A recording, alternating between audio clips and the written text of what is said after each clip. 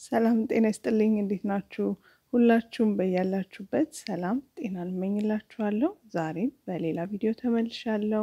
ዛሬ በጣም ቆንጆ የሆነ በመጥበሻ ብቻ ልንሰራው የምንችል ቆንጆ የፓስታ ፉርኖ ወይም ደግሞ የፓስታን ቶርታ አብረን እንሰራለን። ትወዱታላችሁ ብዬ አስባለሁ። ይህንን ቪዲዮ አይታችሁ ከወደዳችሁት like፣ comment እንዲሁም ደግሞ አዲስ ከሆናችሁ subscribe ማድረግ አትርሱ። ነባር ቤተሰቦቼም እጅግ አድርጌ አመሰግናለሁ። ወደ ስራው ስንሄድ የሚያስፈልጉ ነገሮች የተወሰኑ ናቸው። እንደ ፍላጎታችን የምንቀያየራቸው ነገሮች እንዳሉ ሆነው ማለት ነው። መጀመሪያ ስጋዬ ነው የማዘጋጀው። በ instant pot ለማዘጋጀት ነበር የጀመርኩት ስጋውን። ከዛ ወደ መጥበሻ ስለቀየርኩት ነው እንጂ ጨው ጋር ማድረግ አይገባኝም ነበር። ያው እንደምታውቁት ጨው ሲደረግ ስጋ ይገነትራል እና በ instant pot የምሰራው መስሎኝ ነበረ። ለማንኛውም ጠበስ ጠበስ ነው የማደርገው። ስለዚህ እዚህ ጋር ቅመማ ቅመሞችን marinate እንደማድረግ ማለት ነው። የነጭ ሽንኩርት powder፣ ቁንዶ በርበሬ፣ ኮረሪማ እንዲሁም ደግሞ የጦስኝ ቅጠል ወይም የመጥበሻ ቅጠል የደረቀውን አድርገን ዘይት አድርገን ለተወሰነ ሰዓት ወይ ዛሬ ልንሰራው ትላንት ማታ ላይ ወይም ደግሞ የተወሰነ ሁለት ሰዓት ምናምን marinate ብናደርገው ከተቻለን ጥሩ ነው። ካልሆነ ደግሞ እንዳለ ጥብስ እንደምንሰራው ጠብሰን ማዘጋጀት እንችላለን። አሁን የማዘጋጀውን ስጋ በሙሉ አልጠቀመውም። የተወሰነው ነው ለዚህ ለፓስታ ፉርኗችን የምጠቀመው። ሌላውን ለሌላ ነገር ስለምጠቀመው በኋላ ላይ በ instant pot አበስለዋለሁ። ግማሹን ደግሞ እንደምታዩት ለፓስታችን እንጠቀመዋለን። በደንብ ድቅቅ አድርገን ከፈለግን መክተፍ እንችላለን፣ ወይም ደግሞ እንደኔ መካከለኛ አድርገን መክተፍ እንችላለን።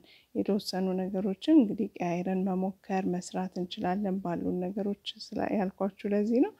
ከም እንደምትፈልጉት ደቀቅ ደቀቅም ተለቅ ተለቅም አድርገን ከትፈን ቆንጆ ጥብስ ሰርተን ለፓስታችን እናዘጋጃለን ማለት ነው። እንዳያችሁት ሙሉውን አልተጠቀምኩትም። ከዚህ በፊት ያሳየኋችሁ የሳንዶች አሰራር አለ። ግማሹን ለሱ ስለምጠቀመው እንግዲህ አስቀምጨዋለሁ። ብዙ ሰዎች እሱን የሳንዶች አሰራር ሰርታችሁ እንደሞከራችሁት ነግራችሁኛል፣ እንደወደዳችሁትም ነግራችሁኛል። እኛም በጣም ነው የምንወደው። ያልሰራችሁትና ያላያችሁት ካላችሁ link ኡን እሱን አስቀምጥላችኋለሁ። ትወዱታላችሁ። ከታትፈን ከጨረስን በኋላ ስጋችንን ጠበስ ጠበስ እናደርጋለን። ዘይት ትንሽ ሞቅ ሲል የከተፍነውን ስጋችን እናደርጋለን። እንዳልኳችሁ እዚህ ጋር ጨው መጨመር አልነበረብኝም። እናንተም በመጥበሻ የምትጠቀሙ ከሆነ ጨው ባትጠቀሙ ጥሩ ነው። እኔ ያው instant pot ኤን በሌላ ነገር ስለያዝኩት ነው እንግዲህ ወደ መጥበሻ የዞርኩት ማለት ነው። ጠበስ ጠበስ እናደርገዋለን እንደምታዩት። ከዛ ቆንጆ የጥብስ ጣዕም እንድናገኝ የተለያዩ ነገሮችን አዘጋጅቻለሁ። እዚህ ጋር እንደምታዩት ቲማቲም፣ ነጭ ሽንኩርት፣ ዝንጅብል፣ ቃሪያ አዘጋጅቻለሁኝ። ስጋችን እየተጠበሰ እሱን በመጨቅጨቂያችን ትንሽ ጨቅጨቅ እናደርገዋለን። ከፈለጋችሁ እናንተ በእንትን በ blender በደንብ አድርጎ መፍጨት ይቻላል። እኔ ግን ያው texture ኡ እንዲኖር ስለፈለግኩኝ ያህል ነው በጣም መፍጨት ያልፈለግኩት። እንዳልኳችሁ መጥበሻ ቅጠል፣ ነጭ ሽንኩርት፣ ዝንጅብል፣ ቃሪያ፣ ቀይ ሽንኩርትና ቲማቲም ናቸውን የተጠቀምኩት። ከዚህ ውጭ እንግዲህ ለጥብስ ቆንጆ ነው ወይ ደግሞ ፓስታ ፉርኖ ላይ በጨምረው ቆንጆ ነው የምትሉትን ማንኛውንም ነገር ተጠቅመን ቆንጆ ጣዕም መስጠት እንችላለን። ሌላው እዚህ ጋር ለልጆቻችሁ የምትጠቀሙ ከሆነ ያው እንደምታውቁት እንግዲህ ቃሪያችንን እናወጣና ወይ በማያቃጥል ቃሪያ በመተካት ወይ ደግሞ ከነጭራሹ ቃሪያውን በማውጣት መጠቀም እንችላለን። ያው እንደምታዩት እንደዚህ ትንሽ ጨቅጨቅ እናደርገዋለን። ከዚህ በላይ ደግሞ በደንብ አንዳንድ ልጆች ሽንኩርት ተለቅ ተለቅ ሲል የማይወዱ ምናምን ካሉን በመፍጫችን ፍጭት አድርገን እዚህ ጥብሳችን ላይ መጨመር እንችላለን። የመጥበሻ ቅጠሏን በኋላ ላይ ብናወጣት ጥሩ ነው። ሌሎቹን እንግዲህ የፈጨናቸውን ወደ ጥብሳችን እንጨምርና ከጥብሳችን ጋር ለተወሰነ ደቂቃ ቢያንስ ለአንድ ለአምስት ደቂቃ አካባቢ ማብሰል ነው ማለት ነው። ምንም የሚከብድ ነገር የለውም። ቪዲዮን እንግዲህ እዚህ ድረስ እያያችሁት ካላችሁ በአሁኑ ሰዓት like ብታደርጉ በጣም ደስ ይለኛል። ለእኔ ቻናል ለእኔ ቻናል ብቻ ሳይሆን ለማንኛውም የዩቲዩብ channel like ማድረጋችሁ በጣም ጠቃሚ ነው እና like ብታደርጉ ጥሩ ነው ብዬ አስባለሁ። ይሄን ስል ከወደዳችሁት ብቻ ማለቴ ነው። ጥብሳችንን ጠብሰን ከጨረስን በኋላ በራሱ በጥብሱ መረቅ እንግዲህ እንዳያችሁት መረቅ ነበረው። በራሱ በመረቁ ሽንኩርታችንን እናቁላላለን ማለት ነው። ለስጓችን ይሄን የምናደርገው ቀይ ሽንኩርታችንን እንደዚህ ጠበስ ጠበስ እናደርገዋለን። መጠኑን እንግዲህ እንደምትጠቀሙት የፓስታ ብዛት እንደ መጥበሻችሁ ትልቀት ነው የሚወሰነው። እኔ በዚችው መጥበሻ ስለሆነ የምቀጥለው አነስ አድርጌ ነው ያዘጋጀሁት። ነጭ ሽንኩርትና ዝንጅብል የተፈጨ ጨመርኩኝ። ከዛ ወዲያው ቀይ ቲማቲም የተቀጠቀጠ እሱን ጨምሬያለሁኝ።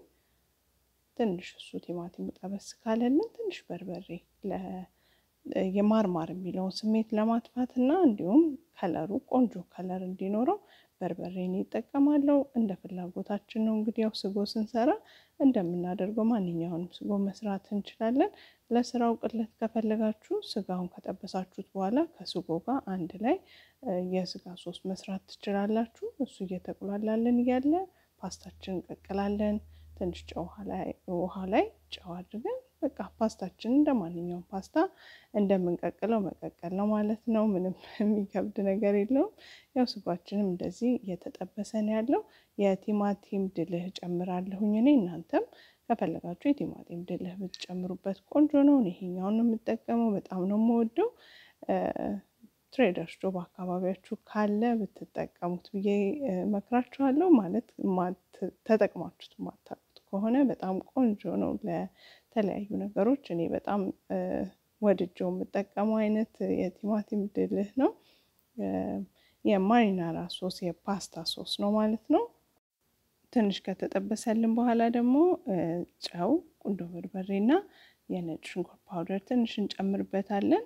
እንደተለመደው ደግሞ እናንተ የምትወዱትን ከዚህ ሌላ ቆንጆ ጣዕም ይሰጥልኛል የምትሉትንም እዚህ ጋር መጨመር ይቻላል። እንግዲህ እንደምታውቁት ከዛ ጠበስ ጠበስ እናደርገዋለን። በወፍራሙ የተሰራ ድልህ ነው መሆን ያለበት ለዚህ አሰራር። እንደዚህ በወፍራሙ ሰርተን ጨርሰናል ማለት ነው ስጓችንን። ከዛ እንግዲህ ዋናው የሚያያይዝልን ነገራችን እንቁላላችን ነው። አራት ያህል እንቁላል ለእኔ ፓስታ መጠን ይበቃዋል ብዬ አስባለሁኝ። ከዚህ በኋላ ደግሞ ወተትም ስለምንጨምርበት ይበቃዋል። ስለዚህ አራት እንቁላል እናዘጋጃለን። ከዛ እሱ ላይ ጨውና ትንሽ ቁንዶ በርበሬ እንጨምርበታለን።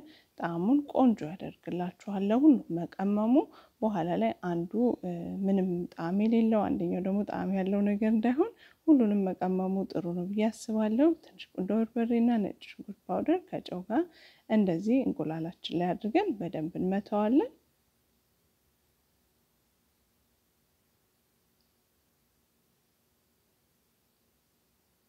እንዳልኳችሁ ትንሽ ወተት እንጨምርበታለን። ከዛም cheese እንጨምርበታለን። እነዚህ ናቸው እንግዲህ የሚያያይዙልን ነገሮች። ከፈለጋችሁ ወተቱን አለመጨመር ትችላላችሁ። እኔ ትንሽ ቀጠን እንዲያደርግልኝና በዛ እንዲያደርግልኝ ነው የተጠቀምኩት። የ cheese አይነት አሁን ያያችሁትን ነው። ሶስት አይነት blend በአንድ ላይ ያለው ነው። ግን የትኛውንም አይነት cheese መጠቀም ትችላላችሁ። shredded የሆነ cheese። ፓስታችን ላይ ዘይት፣ ቁንዶ በርበሬ ጨው እናደርግና አንድ ላይ እነሱ እናደባልቀዋለን ከፓስታችን ጋር በደንብ ቀዝቃዛ ውሃ ከተለቀለቀ በኋላ ማለት ነው። ዘይት የምናደርግበት እንደዚህ እናዋህደዋለን። እንግዲህ እስካሁን እንዳያችሁት ምንም የሚከብድ ነገር የለውም። ከዛ እንቁላላችንና ወተት ያዘጋጀነውን ቺዛችንን ወደ ፓስታችን ገለብጥና በደንብ እንደዚህ እናዋህደዋለን። ፈሳሹን ወደ ፓስታው ማድረጉ ጥቅሙ ቢያንሰን እንኳን ያው ፈሳሽ ለመጨመር እንችላለን። ስለዚህ ፈሳሹን ወደ ፓስታው እንጨምራለን። እዚህ ጋር እንደምታዩት እሳት ላይ መጥበሻ ጥጃለሁ። በጣም ዝቅ ባለ እሳት ላይ በደንብ ማጋል ይኖርብኛል። እንትኔን መጥበሻዬን ከጋለ በኋላ ደግሞ መቀነስ ይኖርብናል። ዘይት እንቀባና ለማስተካከል እንጀምራለን ማለት ነው። መጀመሪያ ላይ ግን መጥበሻችን በደንብ መጋሉን አትዘንጉ። ከዛ ከጋለ በኋላ ግን መልሳችሁ ታጠፉታላችሁ። ከዛ ፓስታ እናደርጋለን በጋለው መጥበሻችን ላይ። አሁን እያደረግኩ እያለው ግን መጥበሻዬ እስከ መጨረሻው ተቀንሷል። ፓስታችንን መጀመሪያ እናደርጋለን። ከዛ ስጓችን እናደርጋለን። በደንብ ካልጋለ መጥበሻው በኋላ ላይ ለመገልበጥ ያስቸግራችኋል። በደንብ ሳይበስል ይቀርና ማለት ነው። ከዛ ግን መልሳችሁ ካላጠፋችሁት ደግሞ ሌላውን እስከምደረድሩ ይቃጠልባችኋል ማለት ነው። ቲማቲም ስጓ አደረግኩኝ። ከዛ ቺዝ አደረግኩበት። የቅድሙን ቺዝን የተጠቀምኩት። ስጋችንን አሁን እናደርጋለን። ከፈለጋችሁ ስጋችሁ ከዚህ ትልልቅ ከዚህም በታች ደግሞ በደቃቁ አርጋችሁ ማዘጋጀት ወይም ከስጎ ጋር ማዘጋጀት ትችላላችሁ። cheese ኡን መልሼ ያደርጋለሁ ከስጋው ላይ። ከዛ ፓስታችን እናደርጋለን። ፓስታ፣ ስጎ፣ cheese፣ ከዛ ስጋ፣ ከዛ cheese ነው ማለት ነው step ኡን የምንሄደው። አሁን እንደምታዩት ፓስታ አደረግኩኝ። እንደ መጥበሻችን መጠን እያስተካከል ነው እንሄዳለን። ከዛ ስጎ እናደርጋለን። የበስጓችንንም የቺዛችንን መጠን እንደምንፈልገው እንደምንወደው እያስተካከል ነው እንሄዳለን። ቺዝ የኔ በጣም የበዛ አይደለም፣ ግን እንደ ፍላጎታችሁ ከዚህም ጨመር አድርጋችሁ ማድረግ ትችላላችሁ። ስጎ ካደረግኩ በኋላ እንዳልኳችሁ ቺዝ ነው የምናደርገው። ከዛ ጥብሳችንን እናደርጋለን። ቆንጆ በጣም የሚጣፍጥ የፓስታ ፉርኖ ነው የምትሰሩት በቀላሉ oven መለኮስም ሳያስፈልጋችሁ።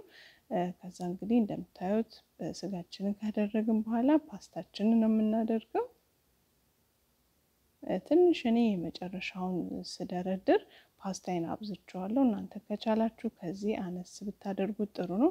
ምክንያቱም በኋላ ላይ ለመገልበጥ ድርቅ ማለት ስለሚኖርበት ከላይ በጣም ወደ ላይ ደግሞ ካወጣችሁት አይደርቅም እና እንደኔ እንዳትሆኑ ለመሸፈን ያህል ትንሽ ከላይ ካረጋችሁበት በቂ ነው። እዛ የተረፈንን የእንቁላሉን ውሃ እንደዚህ ከላይ ፈሰስ እናደርግበታለን። ካልተረፋችሁ አንድ እንቁላል መታችሁ ከላይ ብታደርጉበትም ትችላላችሁ።